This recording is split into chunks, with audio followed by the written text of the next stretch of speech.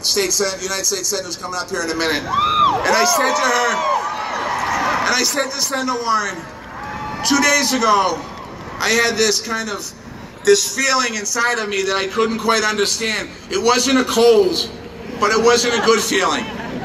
And yesterday, as I watched all the things going on, I watched the first actions by our new president. I knew where my sickness was coming from.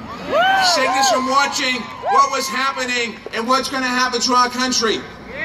But today, when I walked in Boston Common, that sickness left because as I look around, I see Americans fighting for the rights that many of you fought for over the generations.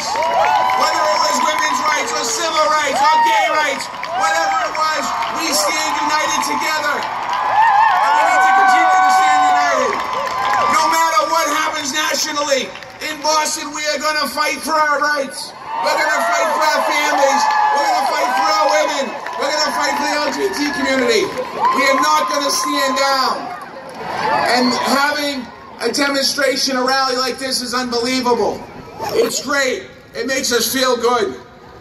We need to amplify up all our voices. But it's not what we do today that's important. It's what we do tomorrow. That's what we have to do. We have to harness this energy that's here today. And we have to organize our neighborhoods. We have to organize women in the workplace to let them know that we're not going backwards, we're going forwards.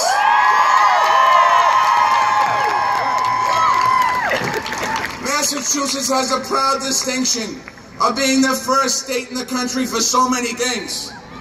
And in 2004, we protected, we brought to this state universal health care to make sure, to make sure that our residents would have the health care that they deserve. We didn't go bankrupt over that. We ran a program that worked. In 2010, after the Supreme Judicial Court came down on marriage equality, in Massachusetts, we protected marriage equality. State in the country to do that. And we are going to be the first state in the country to fight back on Washington when they start to go after different things that affect so many different people. We're going to stand up. We will fight. We will take this fight from Boston Common to the mall in Washington to let the president know that he's supposed to represent all of us.